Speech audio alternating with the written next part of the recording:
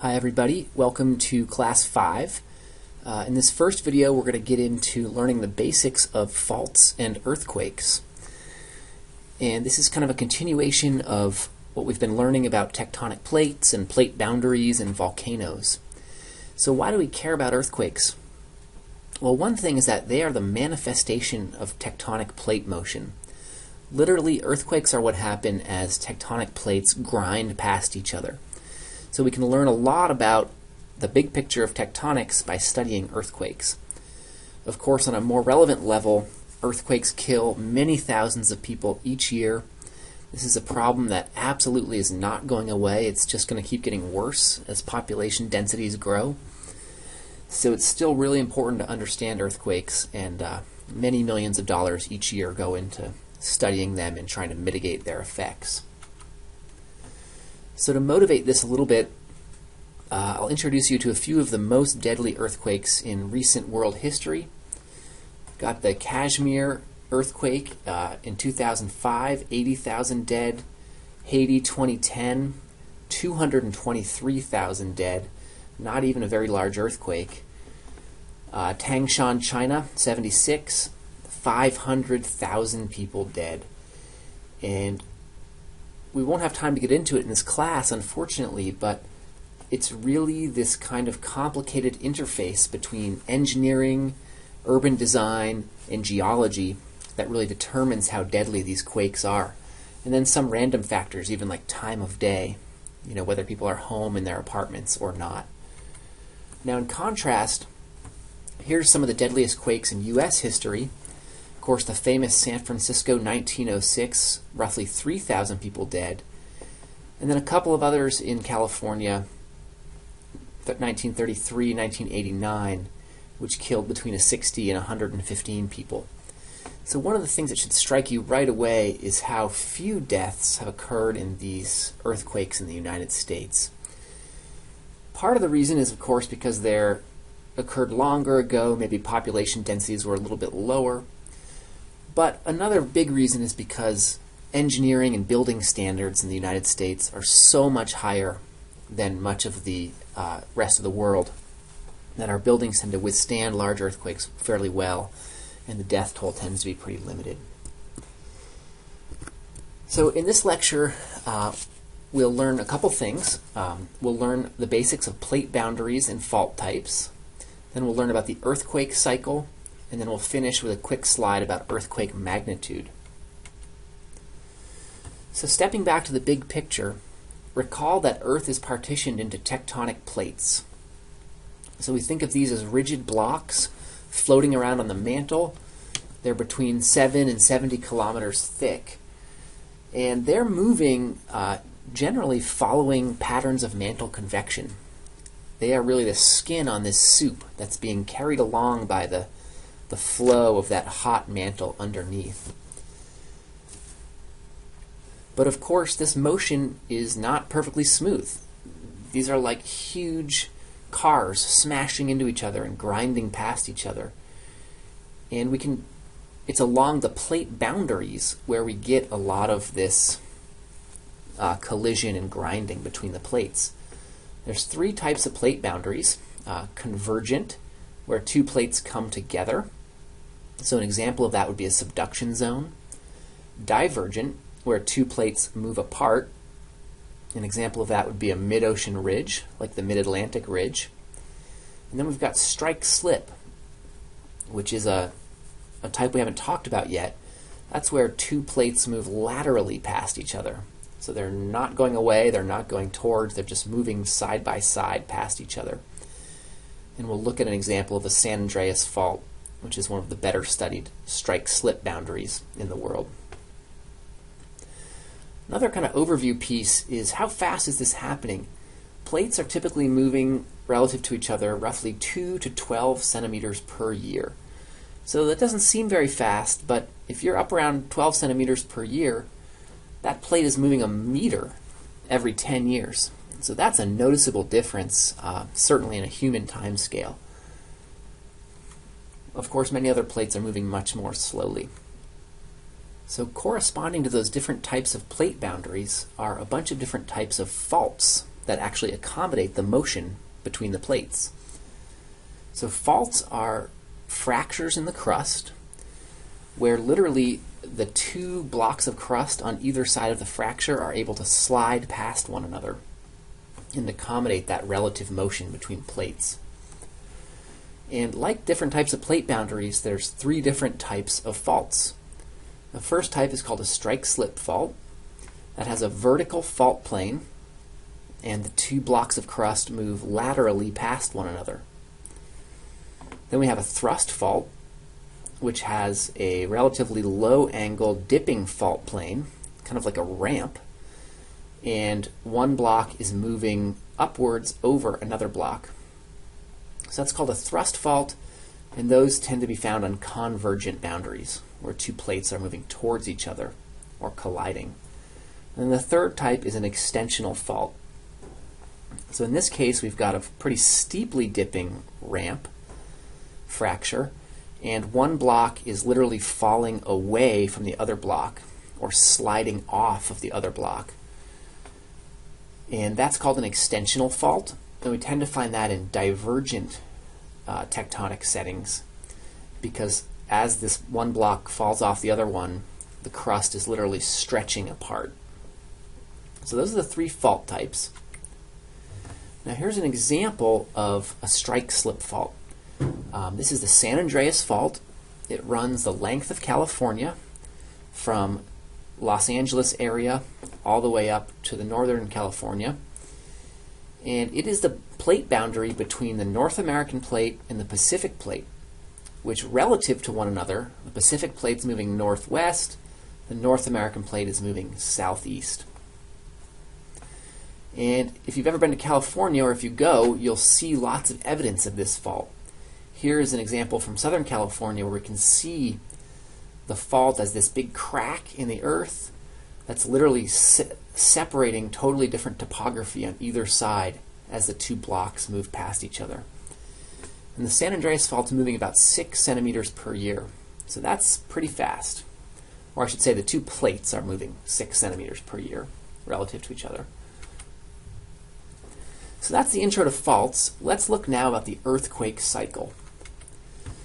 So the earthquake cycle is the idea that faults spend most of their time locked. Most of the time, there's actually no slip occurring on a fault plane. Instead, it's locked, and what happens is strain is building up. So energy and force is energy is being stored in the rock as the far field plates continue to move, but the fault itself doesn't move and that's called the interseismic period. The coseismic period lasts for only a split second, as suddenly the stresses on the fault become too much, the friction that's holding the fault together is overcome, and the fault moves in an earthquake event. And that's a co-seismic earthquake event. Might last only a few seconds as these plates suddenly move. Now, they're basically the area right along the fault has actually caught up with the rest of the crust further away from the fault. And this releases a huge amount of stored seismic energy. And where does that energy come from? The energy comes from a process called elastic strain accumulation. Basically, we can think of rocks as acting like a spring and as in the interseismic period, as the plates continue to move past each other, the rocks near the fault get compressed and loaded just like a spring that's being squished. Stress builds and builds, and then eventually the stress becomes too much and the fault ruptures. So let's take a quick simplified video of this. Uh, here's the fault itself. It's a strike slip fault. So we're looking down on it like in map view. Okay. And of course, this plate is going up your screen, this plate's coming down your screen. We're going to watch these bars move, and we're going to watch this, the stress build up along the fault.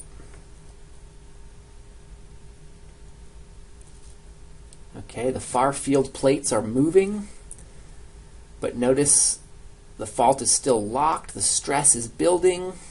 Boom, there's the earthquake. And as that spring releases, sends the seismic wave energy out through the crust.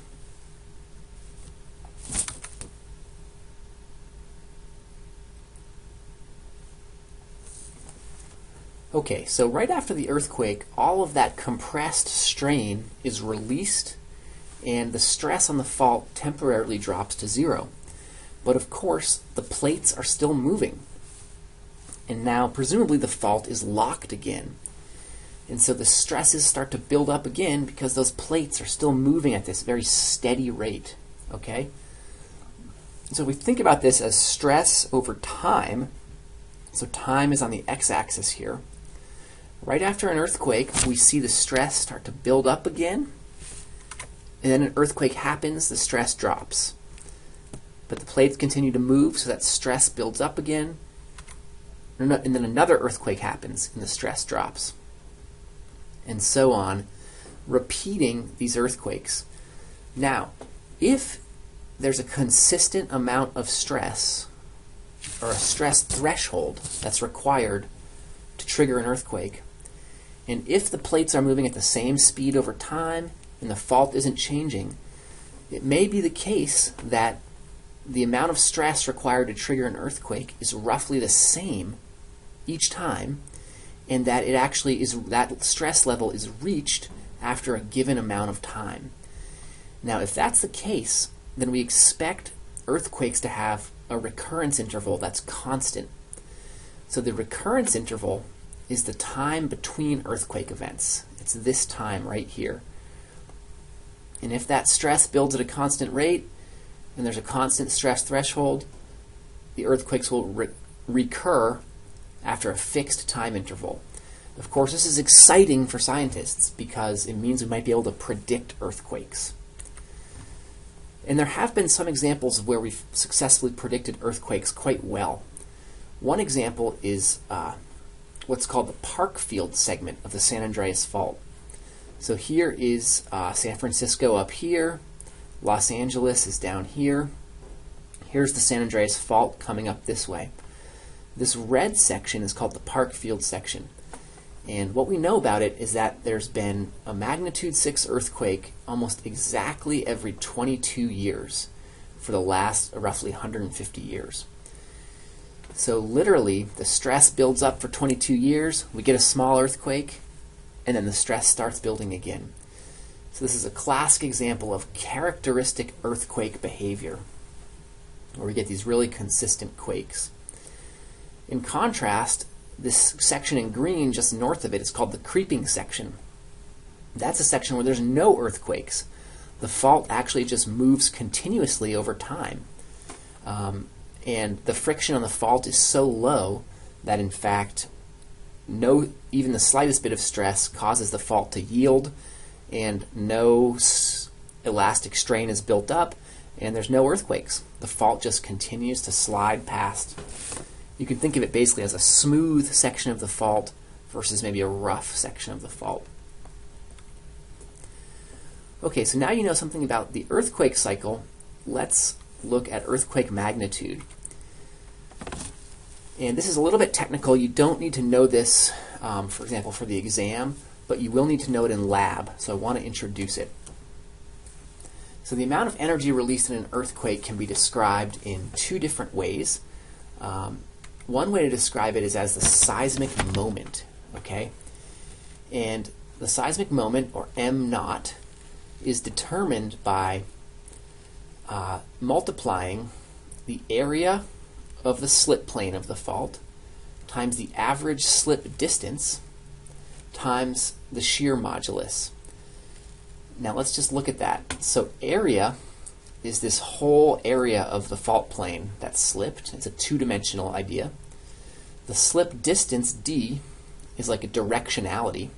So it's like the linear distance the fault slipped. And then this shear modulus, mu, is basically the roughness coefficient. It's a measure of how rough the fault surface is. Now, it's more convenient for people to think of earthquakes in terms of moment magnitude, this second kind of set of units. And this is basically just a log transformation, we take the seismic moment, we stick it into this base 10 log transformation, and we get out a moment magnitude. So you may need to use these equations in lab, but I'll provide them for you. And the final thing I want to hit home is this idea of the characteristic earthquake, right? If we want to have an earthquake that occurs over roughly this, a constant recurrence interval and is roughly the same size each time, then the earthquake event itself has to actually be consistent. What does that mean? It means the area that slips and the slip distance both have to be consistent between successive earthquakes. So it's not just about recurring over a fixed time interval, it's about each earthquake having the same properties, the same area of slip and the same distance of slip. Great, so I'll leave you with these three concept questions. Um, there's no quiz associated with this video, and I'll see you shortly in the second video from this class, where we'll look at how we use paleoseismology to study past earthquakes.